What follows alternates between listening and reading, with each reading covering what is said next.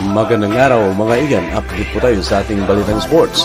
Pero bago natin tatalakayin, huwag kalimutan mag-subscribe at pinutin ang bell para kayo ay update sa ating mga bagong video.